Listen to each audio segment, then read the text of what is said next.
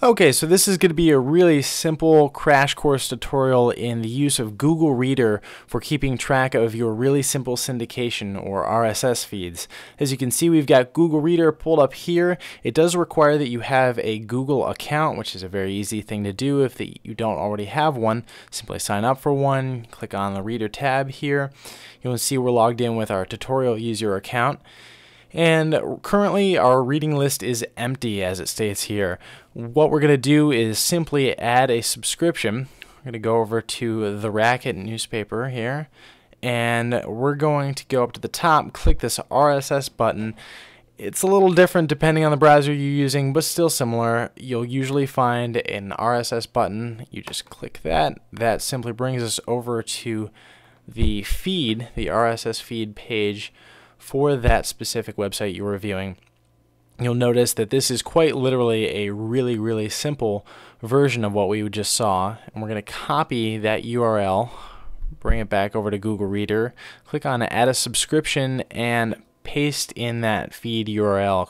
Once you click add, that's going to add on each of those articles. So now we have a new subscription. Go on to all items, and it lists the articles.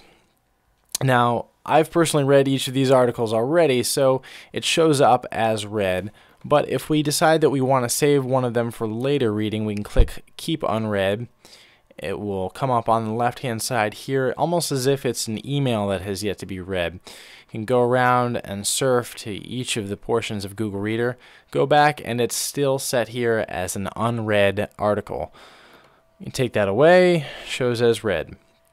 Now you'll notice there's a few other things on here, add a star, like, share, share with note, etc. These are, in my opinion, the essence of Google Reader. It makes it very easy to get back to feeds, specific articles, depending on the information that's contained within.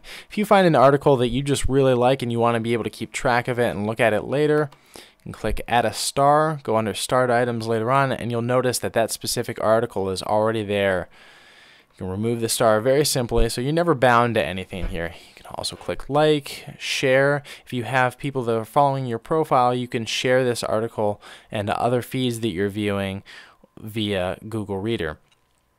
If we decide that there's something on our subscription list here that we want to be able to call up later on based on a tag just through searching, we can create specific tags for posts for this one. We'll just use SGA.